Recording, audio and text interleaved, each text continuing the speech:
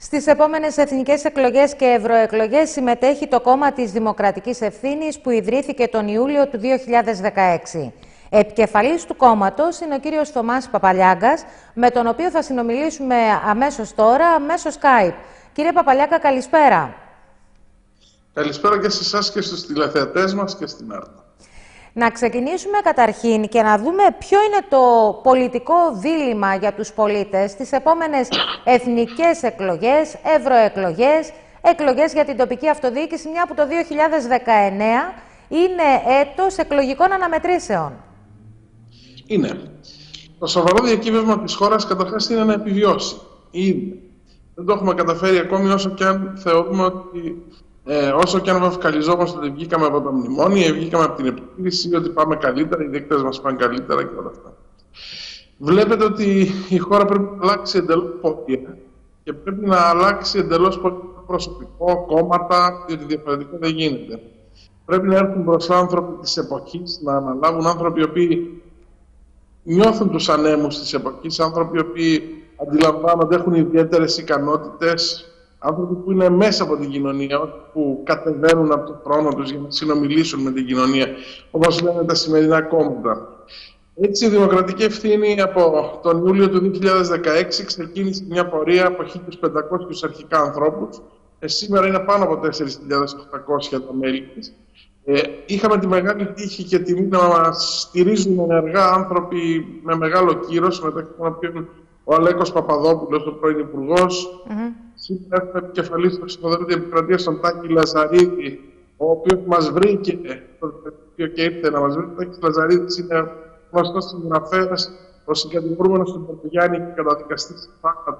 Είναι σύμβολο της Ο συγγραφέας που έγραψε μεταξύ άλλων και το γνωστό βιβλίο Ευτυχώ ηθηθήκαμε σύντομα.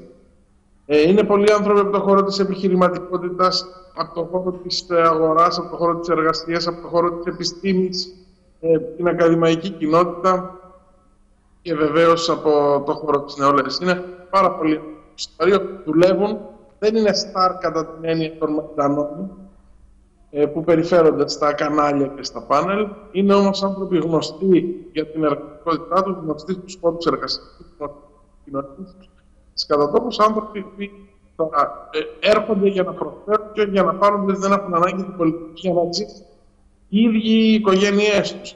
Δεν είναι κληρονόμοι, δεν είναι ε, κατά την έννοια του ότι έρχονται ποτάκια. Γενικά είναι άνθρωποι της κοινωνία, της αγορά και της εποχής.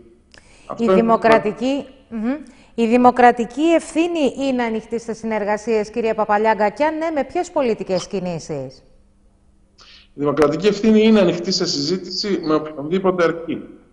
Να πληρεί τις προποθέσει ε, και να έχει φυσιογνωμία τη δημοκρατική ευθύνη. Δηλαδή, να αποτελείται από ανθρώπους καινούργιοι θετικά ή καινούργιοι πολιτικοί, καθαρούς, με καθαρό πολιτικό λόγο, κόμματα τα οποία δεν έχουν κομματικό στρατό ή δεν βαρύ παρελθόν, ε, κόμματα τα οποία αποτελούνται από ανθρώπους της εποχής, από ανθρώπους που δουλεύουν όχι από επαγγελματίες Κόμματα τα οποία γενικά ε, θέλουν και να προβάλλουν, να λένε την αλήθεια στο, στους πολίτες, να συζητάνε και όσο δύσκολο και αυτό είναι, να το λένε. Το πρόγραμμά τους δηλαδή να το λένε. Το κρατική ευθύνη το μοναδικό κόμμα που από την ίδρυσή του δεν είχε δεδομένη ηγεσία.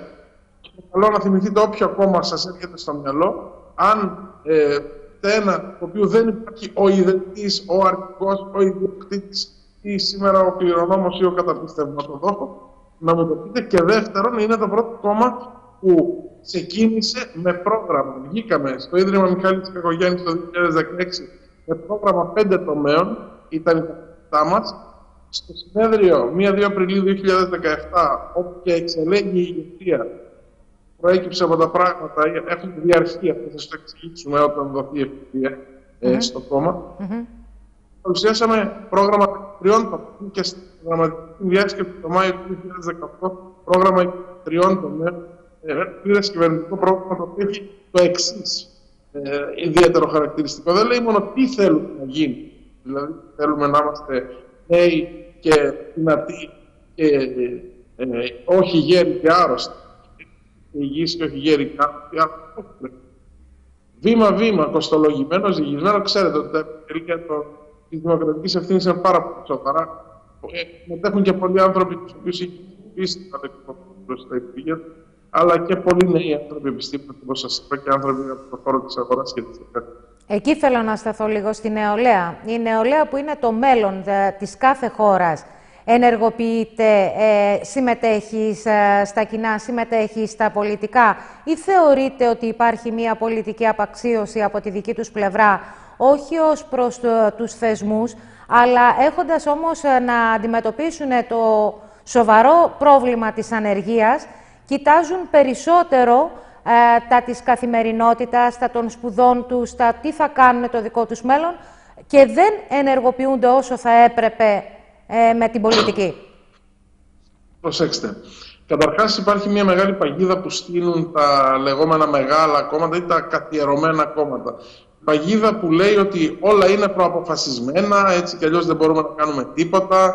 Ε, μια παγίδα η οποία έχει ως συνέπεια οι πολίτες να αποστρέφονται την πολιτική και να, να πάνε στην εποχή. Ή να διαμαρτύρονται με άλλους τρόπους όπως το ψήφο για πλάκα σε διάφορα κόμματα ε, αποτέλεσμα αυτού είναι ουσιαστικά να έχουμε 44% από πραγματική αποχή στις τελευταίες εκλογές και ένα μεγάλο ποσοστό ψήφου για πλάκα ή ψήφου αντισυστημική κατά την έννοια έτσι, που, που, ότι θέλουν να διαμαρτυρηθούν οι πολίτες αυτοί. Τώρα, δεν είναι μόνο οι νέοι που απέχουν και θα σας πω κάτι έχουν και δίκιο. Γιατί μεγαλώσαμε μια γενιά τώρα η οποία δεν βλέπει πώ. Η οποία μεγαλώνει και να σπουδάσει και να φύγει από αυτή τη χώρα. Έτσι. Η Δημοκρατική ήταν το πρώτο κόμμα που εδώ και δυόμιση χρόνια έθεσε στην ατζέντα πρώτο το ζήτημα της υπογεννητικότητας.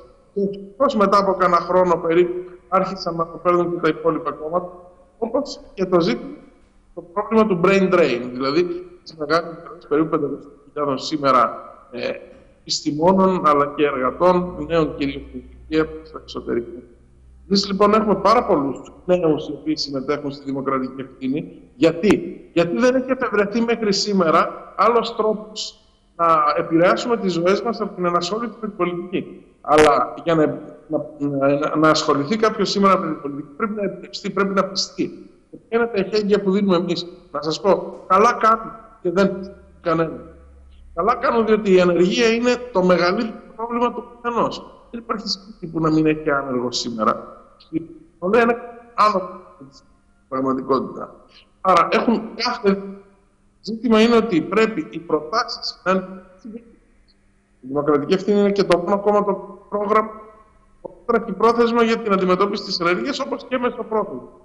Λοιπόν, έχουν δίκιο οι νέοι νεότεροι μέχρι τα 20, 30 να αποστρέφονται την πολιτική, διότι δεν βλέπουν ότι μπορεί με κάποιον τρόπο να επηρεάσει τη ζωή τους ή βλέπουν ότι την έχει επηρεάσει αρνητικά. Αποτέλεσμα αυτού είναι να έχει μηδενιστεί μια ολόκληρη περίοδο, την οποία πήγε μπροστά υλικά. Δηλαδή, η πολιτευτική θέλει περίοδο. Ω προς τις ηλικίες της, ως προς τα υλικά, ενώ ε, και ω προ πνευματικά. Δεν άφησε πνευματικά ε, ισχυρά ισχυρό άτομα, αποτέλεσμα τώρα να έχει ισχυρό μια τη γενιά του 30. Αυτό είναι να έχουμε αυτή την κρίση πρώτα οικονομική. Η κρίση πρώτα είναι πνευματική, είναι πολιτισμική. Μετά έγινε κρίση θεσμών. Στη χώρα δεν λειτουργεί τίποτα. Οι θεσμοί είναι πλήρως απαξιωμένοι. Είτε ότι ω πιο ε, στου θεσμούς θα κάνουν να θεωρούν την Εκκλησία κρατώ. Εμπιστοσύνη προς την πολιτική πράγματα προς τη διοίκηση. Λοιπόν, ε, είναι, πρώτα, είναι λοιπόν είπα πνευματική, πρώτα πολιτισμική, μετά θεσμική έπειτα, πολιτική και τέλος οικονομική. Είδαμε την πέμπτη, το πέμπτο στάδιο, δεν είπαμε τα προηγούμενα στα σκρίτη, σαν κάτω.